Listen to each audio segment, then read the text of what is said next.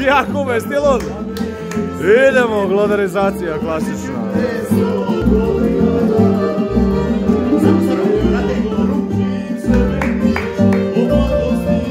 Mjau, mjau, mjau.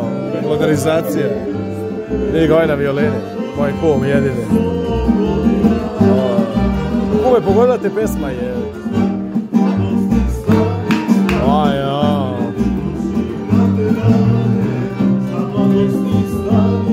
Gladan sam. Kako ima cipele ovaj? Brankotex. Bravo, kume.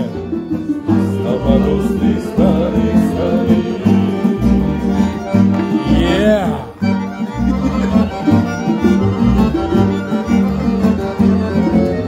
A, u kume, a se otvaraš, ovo je nemoguće. Daj kume 300 dinara na zajem.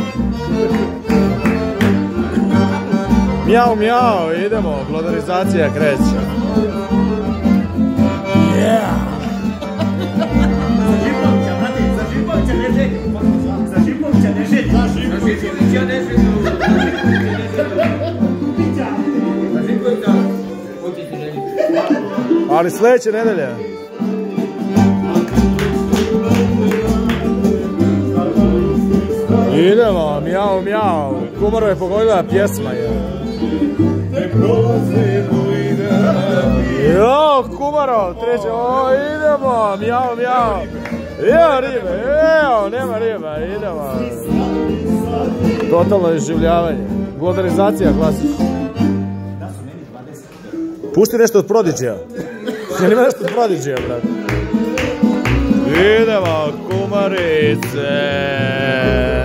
Ide meni 20. Ja, ja postim, brate. I evo ga najjači konobar. Radio u Boliviji četiri godine. Ovo, ono. Idemo, glodarizacija. Hvala kume. Idemo, mjau.